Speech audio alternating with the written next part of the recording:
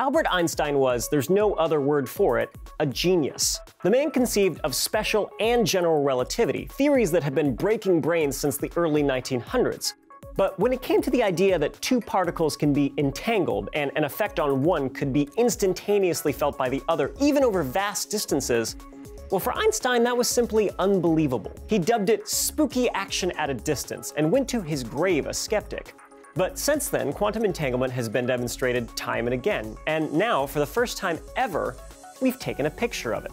To achieve this, researchers from the University of Glasgow shot an ultraviolet laser at a crystal, which broke apart some of the photons from the beam, creating two entangled photons.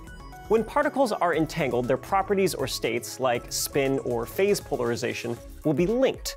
But until they are measured, those properties will remain in superposition, meaning it can be in multiple states at once. Observing one particle will make it take on one state, while at the same exact moment, its entangled twin will take on the opposite state. The entangled property of the photons the researchers chose to observe was their phase. Remember that photons can behave as both particles and waves, and a photon's phase is where it is in its wave oscillation. Photons that are in step or in phase can amplify each other to give a brighter intensity, and out of phase they can cancel each other out to give darkness. Once these entangled photons were created, they were split and sent on different paths. Down one path, the scientists set up a filter that would limit the photon to one of four different phases.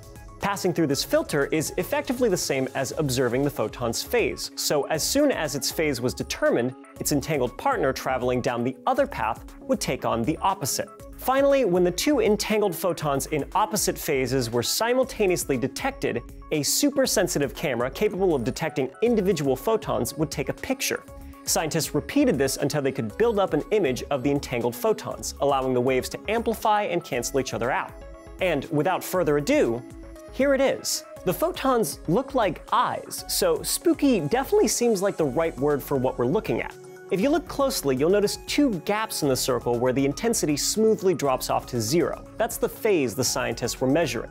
And this picture further counters how Einstein thought quantum entanglement could work. To make entanglement jibe with classical descriptions of physics, he proposed so-called hidden variables that would act as a messenger between entangled pairs. When he proposed this, no one knew how to test if a hidden variable was at play or if the quantum world was just really weird. In 1964, almost a decade after Einstein's death, physicist John Bell came up with a theorem that can distinguish between Einstein's proposed hidden variable explanation of spooky action and quantum mechanics' entanglement explanation. These statements are known as Bell's inequalities, and years after he devised them, they were tested and contradicted Einstein's idea of a hidden variable. This photo adds to the pile of evidence against Einstein, violating Bell's inequality that assumes the hidden variable interpretation. So, now you have a picture to put in your locker next to that photo you have of Einstein with his tongue out. It may serve as a nice reminder that your name can literally be synonymous with the word genius, and you can still get stumped sometimes. It's a good thing quantum entanglement is real because it's key to a quantum computer. If you want to see how close we are to finally building one, check out this Focal Point episode all about it.